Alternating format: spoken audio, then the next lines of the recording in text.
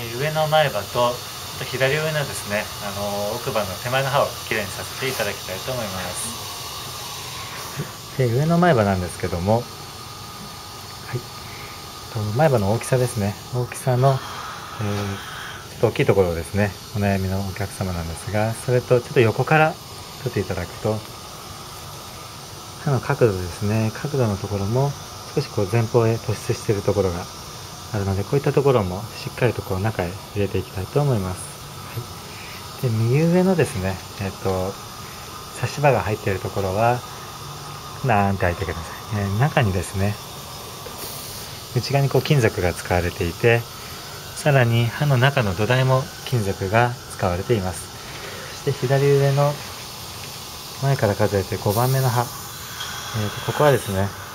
金属を使ってる歯なので歯と歯茎の際の部分が金属が露出してしまっているところがあるので、まあ、こういったところもですねしっかりと金属を取り除いて、えー、綺麗なセラミックを入れていきたいと思います、はい、じゃあ噛んでくださいね。はい、えー、先ほどのお客様です、えー、本日ですね前歯、えー、2本のですね大きさを、えー、小さくですねして仮歯に作るところまでやっていきますちょっと横から見ていただきたいんですけども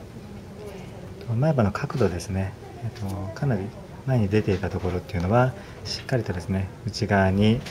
えー、引っ込めていきました、はい、で左上の前から数えて5番目の歯なんですけどもここの歯もですね金属入りの差し歯が入っていたのでそこを外して中の金属の土台も取ってですね白い狩り場を入れていきました。こ書いてくださいね。噛んでください